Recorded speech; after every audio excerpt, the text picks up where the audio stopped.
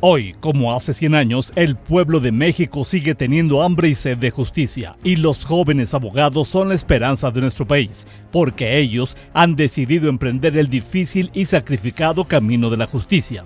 Así lo externó el presidente del Supremo Tribunal de Justicia del Estado de Aguascalientes, magistrado Juan Rojas García, al apadrinar a una nueva generación de licenciados en Derecho egresada del Instituto Alameda AC, el titular del Poder Judicial de la entidad advirtió que el camino de la justicia es arduo y exige mucho sacrificio, pero permite que todas las personas sepan que hay certeza en su patrimonio y puedan caminar tranquilamente por la calle.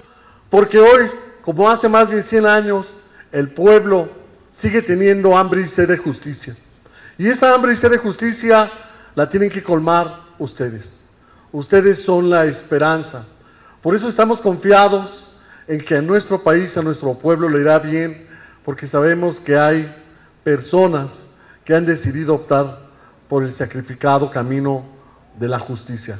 Sí, tengo que decir, es un camino difícil, es un camino arduo, es un camino que requiere mucha constancia y que exige mucho sacrificio, pero es el camino que permite que toda la sociedad pueda caminar en la calle tranquilamente, que todas las personas sepan que hay certeza en su patrimonio, que todas las personas sepan que hay alguien que va a cuidar en caso de un conflicto familiar y que lo va a resolver.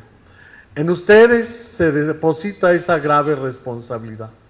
Darnos certezas a todos, ser justo con todos, este pueblo lo necesita, México lo exige y hoy más que nunca.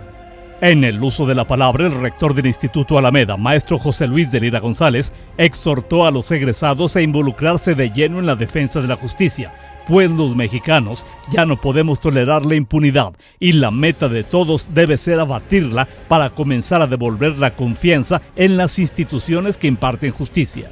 ¿Cuántas veces escuchamos el adolecer de las personas, ¿verdad? Con su malestar, de que algo les pasó y que fueron víctimas de despojos, de propiedades, de juicios, de agresiones y que queden impunes. Ya no podemos tolerar la impunidad. Y la meta es abatirla y empezar a devolver la confianza a las instituciones que imparten justicia. Y ustedes van a ser parte fundamental a nuestras nuevas abogadas y abogados que a partir de hoy emprenderán un nuevo camino. Tienen todo un horizonte por venir. Y fíjense cómo son las coyunturas de la vida. Hoy ustedes egresan y empieza una reforma judicial en este país, en la cual pues deben de involucrarse, saber cómo va a ser esta reforma, porque va a ser el campo del día a día donde ustedes se van a desempeñar.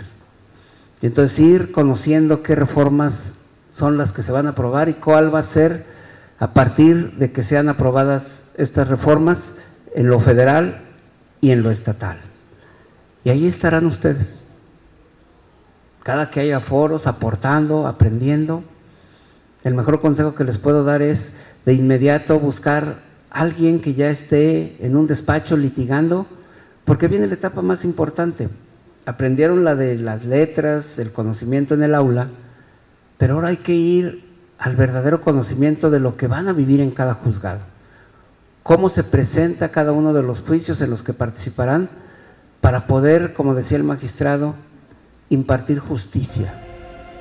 Pidió a los egresados se involucren de lleno en las reformas judiciales propuestas por la Federación, dado que será el campo en el cual van a desempeñarse los llamó a que luego de aprender la teoría en las aulas, hoy inicien de lleno la impartición de justicia, trabajando con quienes han recorrido ya ese camino, litigando y colaborando para formar a las nuevas generaciones de abogados. El maestro José Luis de Lira González recordó que él fue pieza clave en la instalación de la Universidad Tecnológica del Norte, por la cual luchó personalmente para su instalación en un sitio que beneficiara a los habitantes de Rincón de Romos. Hace años cuando nace la universidad por allá del 99, era gobernador don Felipe González, un hombre que quería traer educación a los municipios del interior.